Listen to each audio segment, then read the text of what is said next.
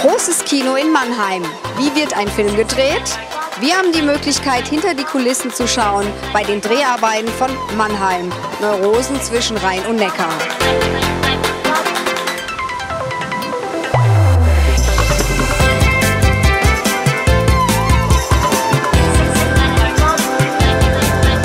Um was geht es in dem Film? Ja, also in Mannheim geht es um eine Band von drei Jungs, die äh, als Musiker erfolglos sind, aber auch im echten Leben alle an irgendeiner Herausforderung stehen im Leben. Die verlieben sich alle in, ähm, in die gleiche Frau. Alle drei schwärmen für dich oder sind sogar in dich verliebt. Spielst du in dem Film mit diesen drei Männern? Ähm, ich glaube, Eileen liebt alle drei dieser Männer, aber es ist nicht sexuell.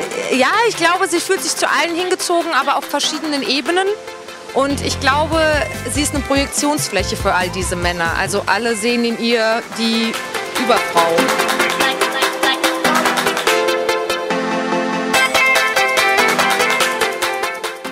Lehnt es an einer wahren Geschichte an? Es ist keine äh, wahre Geschichte in dem Sinne, aber es sind wahre Charaktere aus Mannheim, äh, die es wirklich so teilweise gibt, natürlich auch teilweise ein bisschen umgearbeitet. Äh, typische Mannheimer, die wir in den Film so eingearbeitet haben.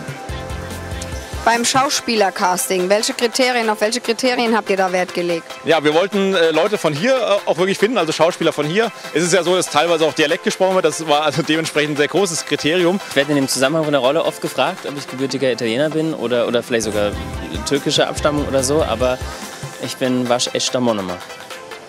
Was zeichnet deine Rolle aus? Bist du Romantiker? Ich glaube schon ziemlich, ziemlich hoffnungslos sogar. Also Enzo verliebt sich unglaublich schnell und unglaublich heftig. Äh, Liebe auf den ersten Blick in, in Frauen und äh, wenn er sie dann nicht haben kann, leidet er auch sehr italienisch, auf sehr italienische Art und Weise.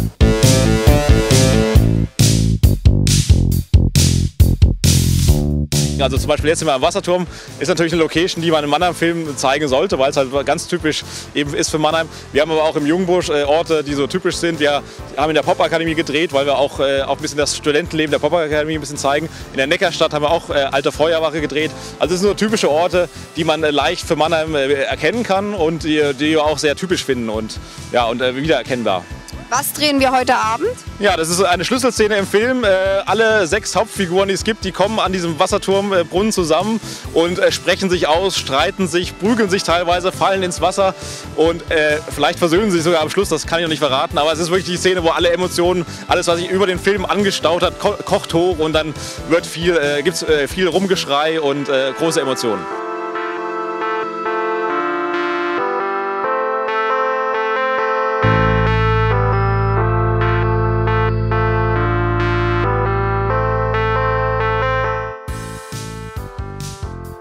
Hast du hier freie Hand oder hast du da eine genaue Regieanweisung, wie du die Kamera zu führen hast? Ähm, ich habe freie Hand und alles geschieht immer in Absprache mit dem Regisseur, dass man, ähm, wir kennen beide das Drehbuch, wir bringen beide unsere Ideen auf den Tisch. Entwickelt sich die Geschichte während dem Drehen, während ihr filmt, dass ihr dann noch sagt, das könnte passen oder hier noch eine Nuance oder man könnte es anders umsetzen? Ja, es gab vorher, vorher das Drehbuch. Was natürlich immer ist, ist, wenn ähm, kleine Schwierigkeiten, die man halt nicht aus dem Weg räumen kann, äh, irgendwie gelöst werden müssen. Dann überlegt man sich praktisch, was man machen kann. Äh, wenn etwas nicht wie geplant klappt, äh, wird halt die Geschichte leicht verändert.